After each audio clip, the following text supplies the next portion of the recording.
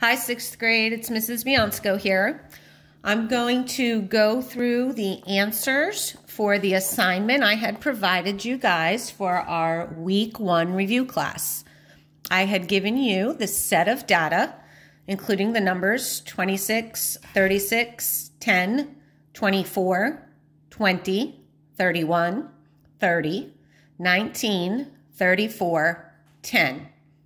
You are asked to find the mean, median, mode, range, quartile 1, quartile 3, and the interquartile range. So let's get to work on how you guys should have done that. You all should have submitted your assignment to me by now. We're just going to go through it so you can have an idea of how you did. All right, so the first thing we're going to do is put the numbers in order from least to greatest. So I have 10, 10, 19, 20, 24, 26, 30, 31, 34, 36. I'm going to double check. I had 1, 2, 3, 4, 5, 6, 7, 8, 9, 10 numbers when I started. 1, 2, 3, 4, 5, 6, 7, 8, 9, 10, and I have all 10 numbers down here.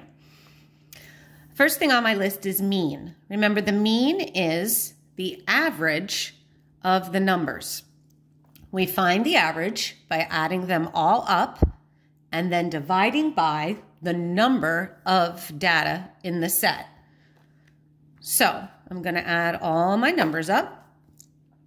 10 plus 10 plus 19 plus 20 plus 24 plus 26 plus 30 plus 31 plus 34 plus 36.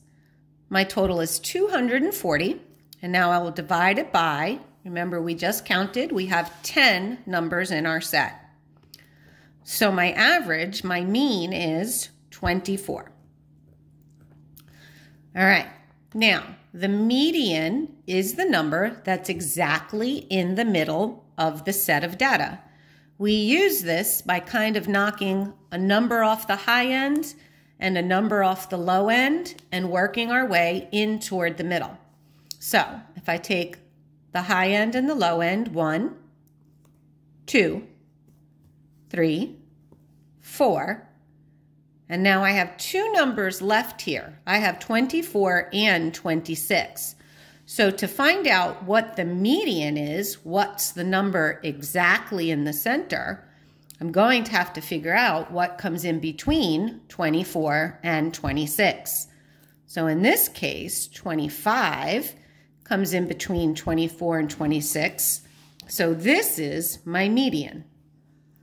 Okay, mode is the number that appears or repeats the most often.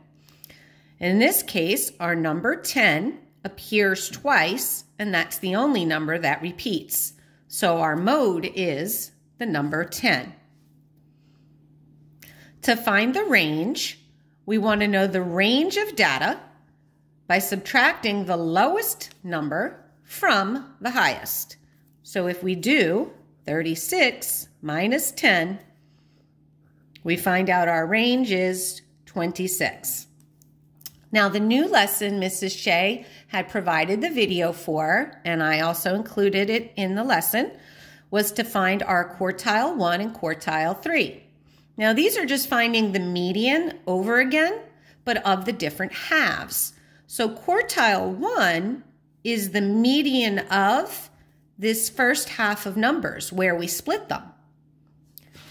Quartile 3 is the median, that means the middle of the back half of the numbers where we had split them.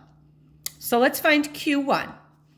Remember, we find the median by knocking one off the high end and one off the low end and working our way into the middle. So one off the high, one off the low, one off the high, one off the low, and the number in the middle is 19. So quartile 1 is 19.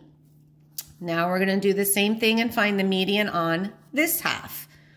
One off the high, one off the low, one off the high end, one off the low end, and 31 is in the middle. So that is quartile three. And the last thing you were asked to find was the interquartile range.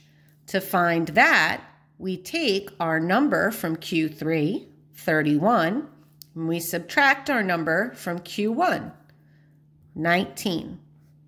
31 minus 19 is 12. So our interquartile range is 12. All right, guys, that's your homework from your assignment for review class week one. Any questions, you know how to reach me. Bye, guys.